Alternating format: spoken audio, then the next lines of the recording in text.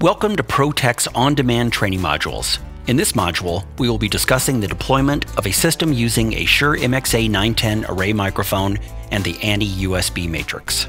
To get started, launch Shure Designer software. With My Project selected in the left-hand side, click New and select Project. Give it a name and description, and click Create. A location must be added to the project. With the Location tab highlighted across the top, click New, select Location, and give it a name. Navigate to the Devices Online notification in the bottom left of the window.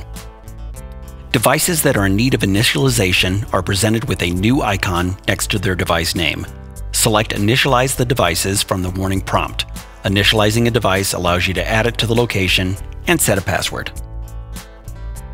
Close the Online Devices window, select Live Mode, and your newly initialized devices will appear in the Online Devices section.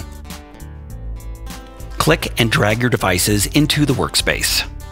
Navigate to the Signal Flow tab across the top, and your online devices will appear in the Signal Flow schematic.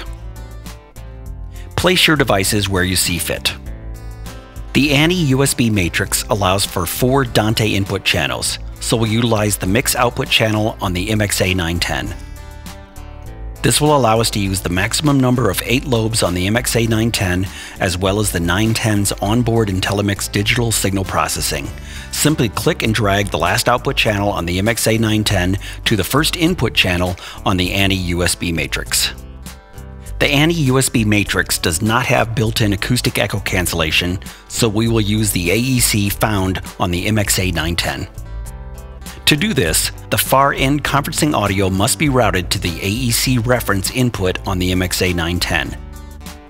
Click and drag one of the Dante output channels on the ANI USB matrix to the AEC reference input channel on the MXA 910.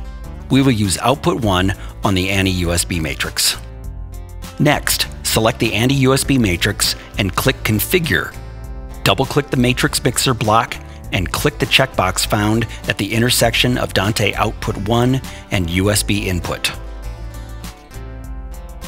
Close the ANI-USB Matrix configuration window, select the MXA 910, and click Configure.